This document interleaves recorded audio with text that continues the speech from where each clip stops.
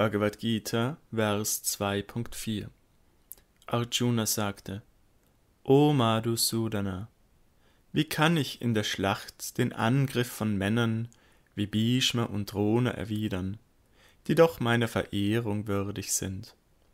Erklärung Ehrwürdige Vorgesetzte wie Bhishma, der Großvater, und Dronacharya, der Lehrer, sollten immer mit großem Respekt behandelt werden. Selbst wenn sie angreifen, sollte man sich ihnen nicht zur Wehr setzen, denn es ist ein ungeschriebenes Gesetz, dass man Höherstehende nicht einmal zu einem Wortgefecht herausfordern darf.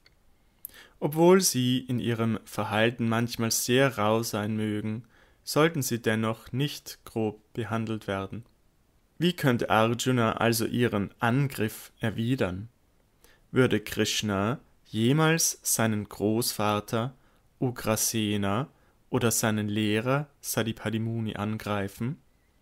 Dies waren einige der Argumente, die Arjuna Krishna gegenüber vorbrachte.